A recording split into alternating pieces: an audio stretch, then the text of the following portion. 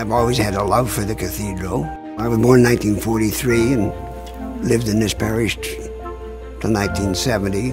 Went to school here, was an altar boy here at the cathedral.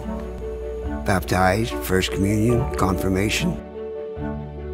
There were six, six generations of the Fitzpatrick family lived in that house across from the cathedral rectory.